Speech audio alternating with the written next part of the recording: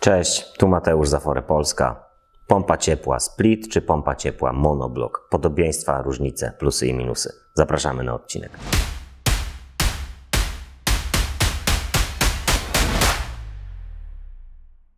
Zanim przejdziemy do wad i zalet, przypomnimy sobie, czym te urządzenia się różnią.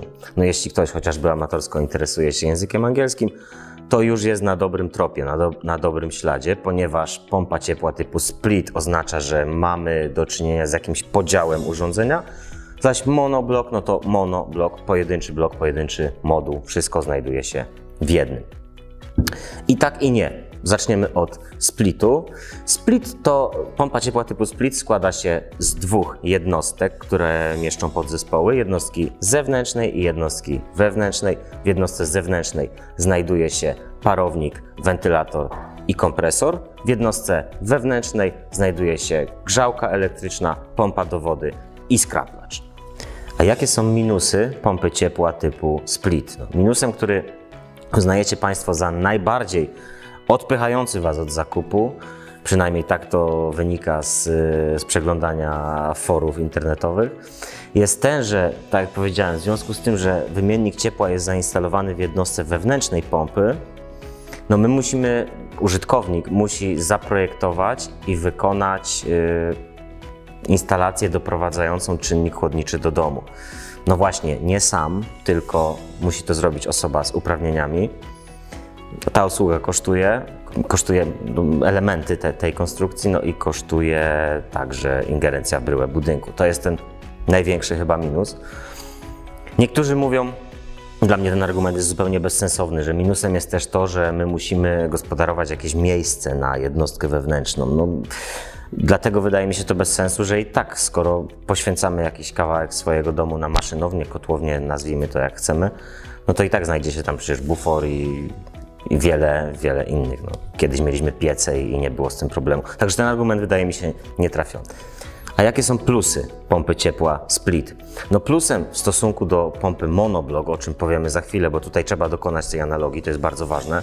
Plusem jest to, że nie potrzebujemy izolować termicznie naszych urządzeń. A z polskiego na nasze y, woda krążąca czy w grzejnikach, czy w podłogówce nam nie zamarznie, bo ona jest ogrzewana wewnątrz budynku. W związku z czym no, nie mamy ryzyka takiego jak w monobloku. No, większość automatyki, elektroniki, hydrauliki jest w środku. Nie wszystko oczywiście, bo jednostka zewnętrzna w splicie też posiada y, hydraulikę i elektronikę, natomiast wie, wiele znajduje się wewnątrz budynku. Nie musimy się martwić o amplitudy temperatur tak bardzo jak w przypadku monobloku. Monoblok. No, tak jak powiedziałem na początku, nie trudno się domyślić, że jest to są to wszystkie y, urządzenia, właściwie obydwa urządzenia pompy ciepła zamknięte w jednym module. Nie do końca tak jest, to jest taka nieścisłość, bo nawet jeśli producenci, którzy oferują monobloki dosłownie posiadające wszystkie podzespoły na zewnątrz, no to i tak elektronika i sterowanie no, musi być w domu. No, trudno sobie wyobrazić, żeby sterować y, na zewnątrz swoją pompą ciepła. Ale y, do brzegu. Monoblok to mieści w sobie wszystkie podzespoły splitu, w jednym, czyli skraplacz, parownik, y, grzałka do wody, kompresor, wentylator. Wszystko jest w jednym, wszystko jest na zewnątrz. Plusem tego rozwiązania jest to, że no wszystko, tak jak powiedziałem, zamknięte w jednej bryle, szczelnie, fabrycznie. Y, no i zostają nam praktycznie tylko dwa wyjścia na wodę, które spinamy ze ścianą i to jest wszystko. Montaż y, bez uprawnień przebiega dosłownie przez kilkadziesiąt minut i może to zrobić hydraulik. No właśnie, ale to, co jest plusem, czyli umiejscowienie całej praktycznie instalacji na zewnątrz, to, co jest plusem monobloku, jest jednocześnie jego minusem. Dlatego, że pompy te wymagają dodatkowej izolacji termicznej, dodatkowej, przepraszam, ochrony przed zamarzaniem. Mówiliśmy w akapicie o splicie, że tutaj trzeba użyć analogii. Splicie nas to nie interesuje, monobloku musimy zdecydować się na któreś z rozwiązań.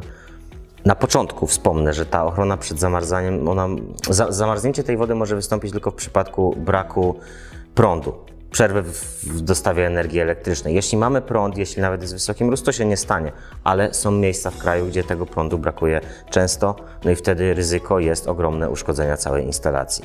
Zabezpieczenia takie najpopularniejsze są dwa. No, pierwszym z nich jest stosowanie takiego roztworu wody z glikolem propelenowym, bo no, nie wiem, czy to ma duży sens, no bo troszkę nam zwiększy to tolerancję, glikol bodajże do minus 7, no ale glikol może przyczyniać się do korozji układu, może go zapychać, jest gęsty. No, ja bym tego nie robił, no, ale to jest tylko moja opinia.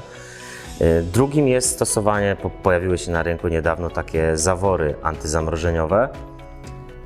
I nawet jeśli nie będzie prądu, te, te zawory spuszczą nam wodę w przypadku mrozu do kanalizacji. Natomiast, żeby ponownie uruchomić pompę, żeby ponownie układ napełnić, no konieczna jest już wi- wizyta serwisanta, co wiąże się z oczekiwaniem, pewnie też z pieniędzmi. Jak Państwo wiecie, my produkujemy pompy ciepła typu split. Tutaj jest dowód, nasza jednostka zewnętrzna. Tu jest to połączenie, które trzeba wykonać, o którym mówiłem. Jesteśmy bardzo ciekawi Pańskich opinii, opinii posiadaczy monobloków i posiadaczy splitu. Jak sprawdza się to u Państwa? Piszcie w komentarzach. Oczywiście nie możemy dyskutować, nie chodzi nam tylko o opinię użytkowników. Serdecznie zapraszamy. Dzięki serdeczne, do następnego.